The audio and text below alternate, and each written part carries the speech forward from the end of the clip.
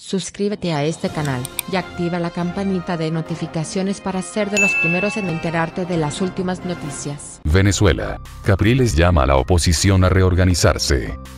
El ex candidato presidencial y dirigente opositor Enrique Capriles llamó a las fuerzas políticas venezolanas a reorganizarse para hacer frente a la compleja situación que atraviesa el país sudamericano y el creciente descontento popular que reflejó el miércoles con varias manifestaciones callejeras que se dieron en algunos puntos de la capital.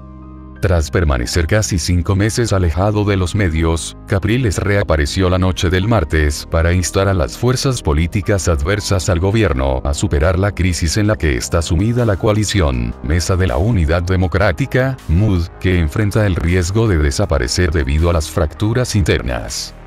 Necesitamos a las fuerzas políticas nuevamente articuladas, dijo el líder opositor de 46 años durante un programa que difundió por Facebook, en el que instó a los partidos a diseñar un plan de acción para enfrentar la hiperinflación, la creciente escasez de alimentos y medicinas, y la severa recesión. La crisis de la oposición se da en medio de un complejo contexto económico y social, y un creciente descontento popular. Decenas de opositores, ancianos, enfermeras, médicos y empleados públicos bloquearon el miércoles algunas vías del oeste y centro de la capital en protesta por la crisis económica, y para exigir mejores salarios y el pago de pensiones. Según el diario El País, solo en el primer semestre del año se contabilizaron 5.315 protestas. Al grito y no, y no me da la gana una dictadura igualita a la cubana medio centenar de jóvenes pertenecientes a la organización opositora Pro Ciudadanos protestaron frente a la sede de la Defensoría del Pueblo, en el centro de la ciudad, levantando carteles en los que se leía, quiero un país donde no comamos de la basura. La protesta pacífica fue disuelta por varias decenas de policías. A escasos metros de esa manifestación un grupo de ancianos también realizó una protesta y bloqueó una de las principales vías del centro de la ciudad para exigir a los bancos el pago en efectivo de la totalidad de sus pensiones. Organizaciones humanitarias y opositores condenaron la muerte de un menor de edad que ocurrió la víspera durante protestas que realizaron habitantes de la población sureña de San Félix por la falta de luz y agua. Capriles, que fue derrotado por el presidente Nicolás Maduro en los comicios de 2013, estuvo distanciado varios meses de la escena pública para acompañar a su padre enfermo. El año pasado quedó inhabilitado para participar por 15 años en cualquier evento electoral tras un proceso que le abrió la Contraloría General, controlada por el gobierno, por supuestas irregularidades administrativas que se cometieron durante su gestión como gobernador del estado central de Miranda. Cada día estamos perdiendo terreno.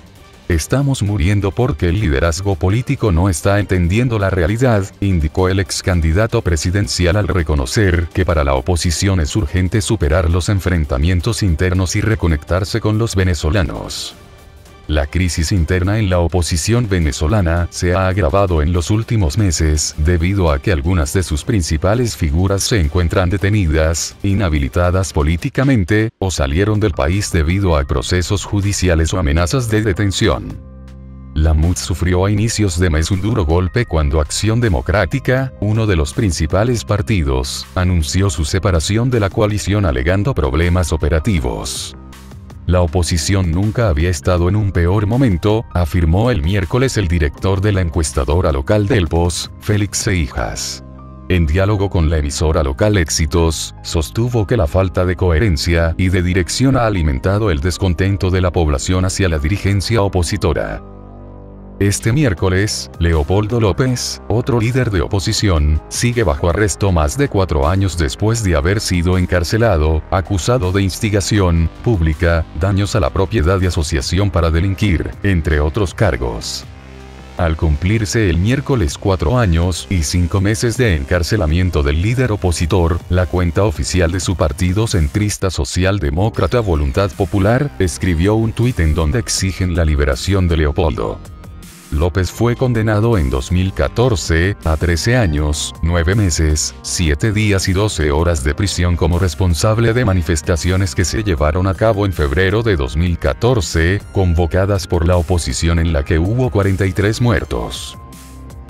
Tras el fracaso de las protestas antigubernamentales del año pasado y la instalación en agosto de la oficialista Asamblea Nacional Constituyente, la oposición comenzó a sufrir fracturas que se profundizaron en febrero luego de que tres pequeños partidos desacataron el boicot promovido por la alianza y apoyaron la candidatura del dirigente de avanzada progresista, Henry Falcón, para enfrentarse a Maduro en los comicios presidenciales luego de la victoria de Maduro en la consulta de mayo, que recibió fuertes cuestionamientos locales e internacionales, los partidos opositores no lograron conciliar una postura para enfrentar el nuevo escenario político. Suscríbete a este canal y activa la campanita de notificaciones para ser de los primeros en enterarte de las últimas noticias.